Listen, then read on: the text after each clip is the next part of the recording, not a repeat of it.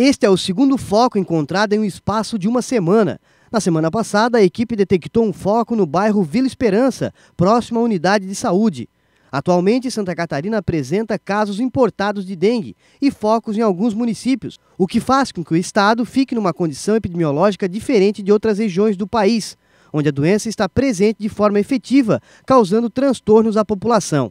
Em Tubarão, o Programa Municipal de Combate às Endemias conta com o trabalho de cinco técnicos que realizam monitoramento em empresas e residências, além de uma digitadora que envia as informações coletadas para a vigésima Gerência de Saúde.